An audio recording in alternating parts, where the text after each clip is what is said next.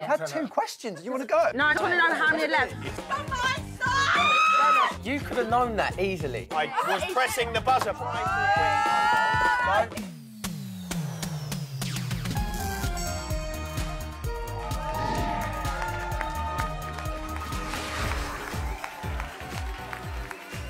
Welcome to the show that makes more crash bang wallop than the 746 bus. That time it took a wrong turn down Bridge Street. It's Albert Squared! And this time, it's boys versus girls! Yes. Yeah, so play nice, guys. Let's meet our teams. To my right, the captain of the boys. It's the one and only Max Bowden. Yes. Hello.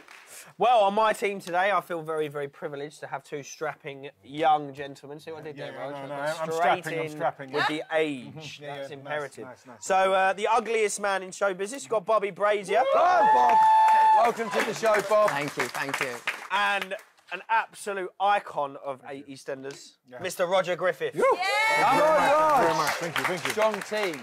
Right, let's meet the girls. It's the captain of the East End Defenders. It's the one and only Danielle Harold. Right, and to my right, I have the lovely Zaraah Abraham. Yes, Zaraah. To my left, my secret weapon, Clair Norris. Hello, Clair. Great work. Strong teams. I've got a feeling this is going to be a good round. We're going to go into our quickfire quiz. Of course, sponsored by the one and only, our furry friend. It's the Wellard round. Yeah, it is. Are we ready? Fingers on buzzers, yeah? Question number one. Where did the Butcher and Evans family go on holiday in an EastEnders special episode? Was it A, Spain, B, France, or C, Portugal? Max Bowden. I think we're going to go Spain. This was my call, by the way. No, don't say that. No, you can say that. No, maybe you. So this is Bobby's answer. Yeah. It's, It's the right answer. How weird I said that before it even come up as well. he knows what he's doing, the Fraser. Right. Question number two. Well done, Bob. What was the occupation of Bianca Butcher's partner, Terry Spraggan? I'm not sure that's how you say his surname. but No, but I say like- it again just as you did it. Spraggan. Yeah, very good. A, builder. B, police officer. Or C, cabbie. Bobby. Cabby. Yes, oh, Bobby! You're on fire! Wait, he's giving it beans. He's giving it absolute Hey, never underestimate Bobby Brazier. I've said it from the beginning. The guy's fire. Not fire finger, they call him. Not sure where, but they, they I've heard. Right, question number three. Are you all right? know where Already, you've got a nickname. You've only answered two questions. How many have we got left? So I can just calculate questions. You've had two questions. Do you want to go? No, I just oh, want to know how someone many to left. be. So I know how many points I'm going to be. For the whole show. Yeah, I know. I want to do mental math. Stop talking. Yeah, but that to doesn't try get you very far. You've had two questions. It's a 12 question round. Right, right. Question number three. Who had a romance with Italian exchange student Enrico de Clemente? System. right. Was it A, Sonia Jackson, B, Nikki DeMarco, or C, Sharon Mitchell? Ah, Zaraah. I'm going to say Yeah. It's all right. If you got. A, B, B. Sorry, B. Nikki, even what you Nikki, said, Nikki B. DeMarco. Yes. That is the wrong answer. It's not Nikki DeMarco. So, Bobby, you I mean, it's the whole team can chat. It's either Sonia Jackson or Sharon Mitchell. You can answer, but I think I would go. C. Yeah, yeah, yeah, yeah, yeah. Bobby, you Hey. stick with your. Oh, so you've gone against your captain. Hey, And it's the right thing to do because it's the right answer. Give me some of that, baby. Hey. Fire fingers strikes again. that's three out of three. It was drip lip as well. Well done. His maths is good as well. This is good. I put some money on Bobby. That's all I'm saying. I, now. I backed him. Oh, so you were angry, but now No, I was cross. you were How can you be cross. cross with Bobby Brazier? No, it's fine. Look at his face. Yeah, do look at his face. Hey. Not for too long, because I find that I can't stop. Question four.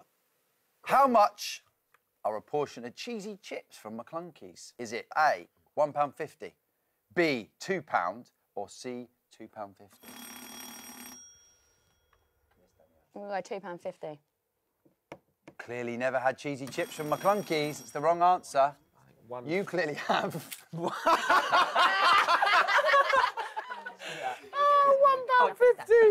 Oh, you haven't. It's not the two pound. Okay, question number five. what classic board game did Bernie and Ted form of a friendship over? Chess. Oh. What's the matter? You're not. Oh, I actually pressed it, but it didn't work. Oh, Well, no, because he, he would have pushed that. Oh, I'm just really invested in Sooner. Bernie. I was waiting for the options as well. It's the right answer. Come on. Of course, it's the right answer. You need answer. to be polite here, Clair. Yeah. Bernie and Ted loved a game of chess. They did. Is that 4 0? Shush. Uh, question number six. In what year did Sharon and Grant tie the knot?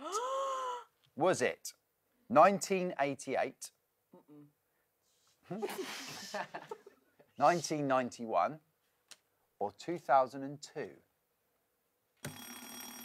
Max Bowden. 1991. That's the one, That's the one, baby. The right answer! Of course it was That's the one, that's the 1991. It's Good getting knowledge. boring now, girls. Is it? Wait, Bob, don't say that. We're still on camera. Watch now at the end. I'm going to get them to replay that clip back to you at the end, yeah? How can I serve you, Bobby? What can I what can I do to spice it up for you? Just a little bit of competition. Right, question number seven. Who faked their own death in 2014, even staging a fake funeral for themselves? Was it A, Nick Cotton, B, Phil Mitchell, or C, Johnny Allen? Bobby. Johnny Allen. Oh, Bobby, he's come to an end. It's the wrong answer, unfortunately. Just take your time, breathe. Can we have the options again? You can. It's either Nick Cotton or Phil Mitchell. Hmm. Nick. Yeah, Nick. Nick. Nick Cotton is the right answer. Of course it was Nick Cotton. Sorry, Tim. Of course it was. You wait till we get home. Question number eight. What was the first thing Kathy said when she came back from the dead in 2015? Did she say, I'm alive. A, oh. Put the kettle on, B, Ian, it was me, or C, hello, Phil? Oh, Danielle. Hello, Phil. It was Hello, Phil. And it was probably the impression that sold it. Question number nine. What item of jewellery was gifted to Chelsea from Gray Christmas Eve 2021? It's a puzzle. You don't get any. I know. I want the They were- exact wording. 'cause Okay, they were blue. All right. okay. emerald diamond earrings. Yeah, Yeah, I'll take that. Yeah. you have to. Okay, emerald so a diamond. pair of earrings. Yeah, Oh, yeah. I'll Yeah, take so that. that's all you wanted, was it? Just a pair of earrings. So earrings. do we get an extra point for describing? No, but you do get a bonus point for telling me why they were so important. Because they belonged to the uh, wife that he previously killed. Which her name was? Her name was Jessica Plummer in real life, but Chantelle as a character. Extra point, though. You don't have to give me like loads and loads. What's going on here? Hey, hey, Good knowledge. That was good knowledge. What good knowledge of her own Her character. own character, yeah. Right, That's her own character. question 10. Does it matter? It's all about EastEnders, babe. Buddy, buddy, buddy, buddy. In through the nose, out through the mouth. We practice this. Come on, here we go. Nah, nah. Question number 10. Who am I, yeah? Mm-hmm. I have one child. I left the square to move to Newcastle in 20... That's me! Danielle Harold. That's- yeah, Who that's am it. I? Me. Lola. Lola, yeah. I, sometimes I think you forget who you play. Yes, it's me. Lola is the correct answer. Well done. You got that after two pretty vague clues, so good. Well done. No one else goes to Newcastle. I don't. think. I don't know. So you could have known that easily. I was pressing the buzzer, Bobby. Oh. I was trying to equip. Ah, don't, hey, don't break down inside the walls. This is your yeah, yeah, yeah, question 11. This is the picture round. So on your screens will appear a picture. Oh, now, Ben Mitchell. That's not fair. Why is that not fair? When it started. I'm telling you, it Well, is. as soon as the picture's up. No, if- look at this favouritism because he's I didn't even ask the You know question. They might give him double points. Let him have it. Let him have the point. But is he right first? You want to win by, hmm. by cheating? Have the If, point. if what That's a big one. Max has said is what I've got written on this card. Bearing in mind he didn't even know the question. It's him. It's something about mixing the genders. I don't think we're going to do this again. I, there's some serious aggression. Like, I think we need to just all come together. Namaste. And just have a little bit. Can we just have the Can point? we, can we have, go. Of course, it's the right answer. It's Ben Mitchell. Okay, question number 12. This is the final question of the Wellard round, okay? Yeah.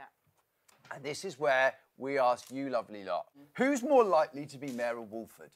It's a good question. Did most people vote for Sonia or Martin? Danielle. No offence, I'll go Sonia. That's fair. That's fair. Martin has No, look, got very few He's- he's leadership green, he skills. knows it's him. That's He's not his so bag. He's not a leader. Obviously him. He's a man of the people. so I've been told. Go. Sonia. Sonia. It's the right answer. Of course it's Sonia. I'd vote for her. Who wouldn't? Guys, that's the end of the Wellard round. So we move into our next game. It's a new game. It's called Proper Ballers. One player per team will go head to head in the pearly pit to become a proper baller. Hidden amongst the balls are a number of famous EastEnders props. We'll give you clues, and all you need to do is find the props. Sound simple? Yes. Just got to root around in my balls and uh, find the props, yeah? A Treat. So, Bobby, right Zaraah, now, you're in position, you're ready to go. Yeah. All right, there's going to be one minute 30 on the clock, Yeah. okay? Each prop is worth three points. Oh my days. So it's a big round, okay? Big round. Um, they're going to potentially be some red herrings in there. So if it's not the answer to the clue, just chuck them back in the balls and carry on looking. Yeah. Lovely. There's uh, how many balls do you reckon are in that pit? I reckon 6,000. They're exactly six thousand. He does not get a point. and I for spent all morning counting them. So that amongst the 6,000 balls, there is one very extra special ball. Is it, is it Phil's? It's the Jimmy ball. Yay! Yeah. Better You copy. get 10 points if you find Jimmy. Shut up, that's extreme. Okay, you're in position. I'll climb Get in now. down on your knees. So there's snakes in there. We've got um, baby snakes. crocodiles. No, no, I know, I know. I'm not. You know what are those spitting cobras? That's it. Yeah, just just two or three in there. So just beware of them. Right. Okay. Three, two, one. The tool Ben Mitchell hit Jordan Johnson with. You find it in the arches. Spanner, spanner, You need smacking Get down. there, get in there, spanner. Over! Right, I'm going to give you another clue. Right, Jim Branning. Yeah, listen, listen, Jim. Another clue, another clue. Jim Branning. was- she Right, doing find some under there? boxing gloves. Boxing gloves. No props in here! Um, what did Steve Owen kill Saskia with? A pen. No, ashtray. ashtray. Ash. You need to The find. spanner, the spanner, we got a spanner, we got a spanner. Chuck it out. Chuck it out. Well done. Chuck the boxing glove. Right, Bobby, you need two of them. You've got. You're looking Bobby, for an ashtray. Bobby, Bobby, look behind you, behind you, behind you, behind you. Right, now you've got to look for Max, guys, a cookware item. Cookware item, get No, good, well done. It's hit over the head. You got it, you got it, you got it. It's The just pan, pure the math. ashtray. Yeah, get it out. Ashtray. The pan, the pan, the pan, the pan. Something Masood Ahmed would have used in his job. Post, post back. Post back. Get The it pan's in front of you, Oi, Bobby. Bobby! What to do. Get the frying pan! Get the pen on, you lot! It's begging Get it Carter's favourite clothing item. West Ham United West Ham scarf. glass, we got a. Bobby! The frying pan! The Frying pan, Bobby. Nine, Find the frying pan! Corner, Bobby, it's in the corner. six, five, Corner, Bobby. four, In the corner, three, Bobby, it's in the corner. two. That's the end! Nice. Oh, well done, guys. Bobby, Zaraah, come back and join your teams. And we are going to watch some of them highlights.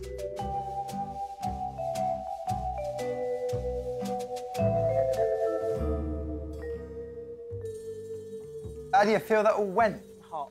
You're hot. Yeah, it looks Slightly energetic. injured. You're injured. Wrestlingly. But the scores are in. Okay. So with seven and a half points. What? The East End Defenders. Yeah, so you got the scarf, Yeah? you got the bag, uh-huh. and you got one of the boxing gloves. Oh, right, yeah, yeah, yeah. So that's seven and a half points, okay? Yes. Walford Warriors. Mm-hmm. You got the spanner, Bang, the ashtray, bang. And one of the boxing gloves. You also got seven and a half points. The back, the back. Boys, boys, we'll take that. Well, listen, The we're back going into a the emoji round. We're going into the I thought you did really well. But that means you're neck and neck going into the final round. We're necking. The E emoji round. On your screens, there's going to be a set of emojis, right? And they're going to spell out an EastEnders character. Okay, so for example, we're going to have a dot and a reel of cotton, which is Bob. Dot cotton. No, it was, it was Phil Mitchell. on there as well. Are you ready? Come on, Ready. boys. This is important, guys, because it's neck and neck ish, and um, you're all going to need these points. Thank you. Ish. Well, I I don't know the exact score. Thank you. That's not my job. Right, okay. Are we ready? Yeah. Three, two, one. Yes. Jean Slater. Correct answer.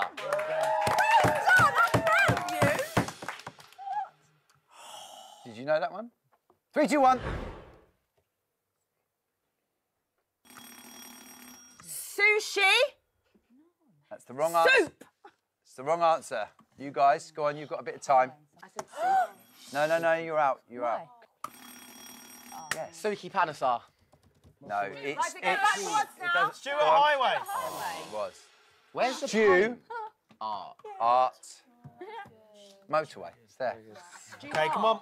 Three, two, one. Jack. Something Jackson. Go on. Something Jackson. Um, Ang- Angela Jackson and and Trin- Trin- Uh, excuse me. think- I think- Jackson, ah, that- Jackson, ah, Jackson. We got Then- it. Where's it, Clair? Carol Jackson. It is Carol Jackson. Of course it is. The angel, with the music, she Carol. This is great, guys. Jackson. Very good. Easy. Right. Three, two, one. Tony King. Tony King is the right answer. Well done. Is this the last one? Three, two, one. That's the same Tony one. King.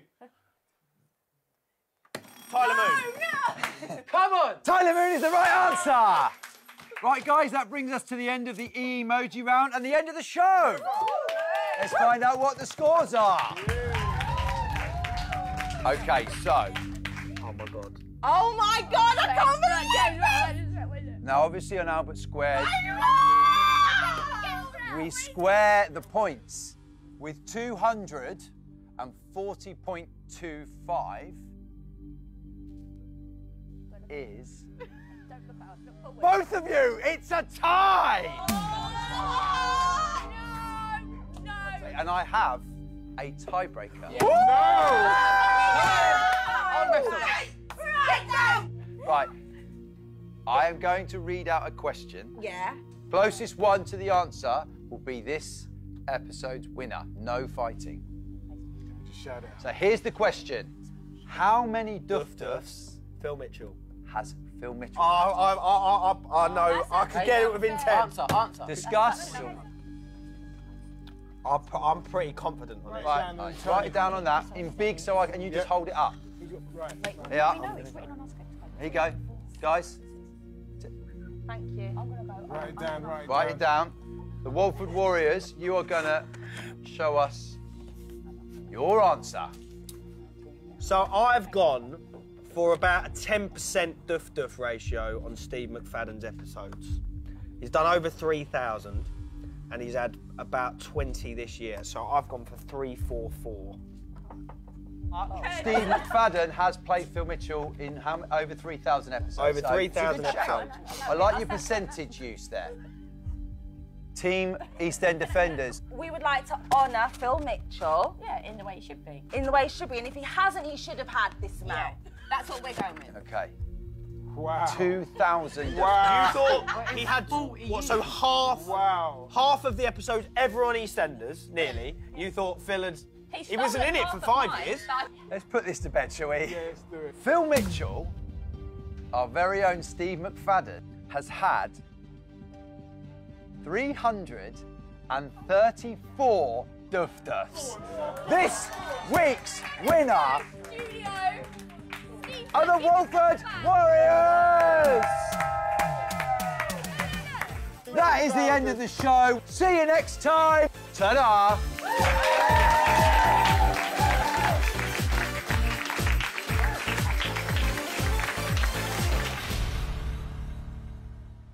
It's the wrong answer. You idiot. Lind wants to get in the pub as well. Come on.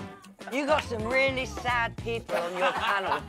They don't call me Mr. Detail for no reason.